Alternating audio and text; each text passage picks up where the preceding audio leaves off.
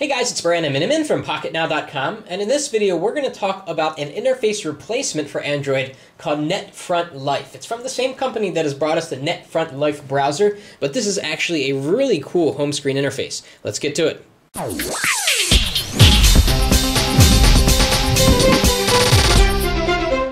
Now while this may look fancy, it's actually very functional. This home screen interface is comprised of three different parts. One is the widget, two is the program tray, which we'll talk about in a second, and three is this carousel along the bottom.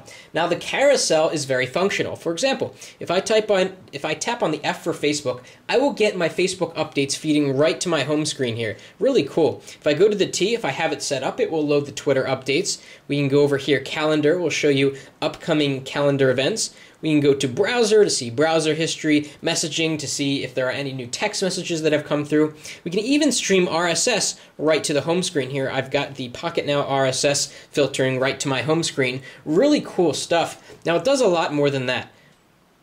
The widget is actually customizable, so we can go into the menu here and click Set Widget. Let's do a Google search for all. And there we have a Google search. Now, what about programs? How do you access your programs? You actually swipe the widget off the screen, and then you get this little cube interface.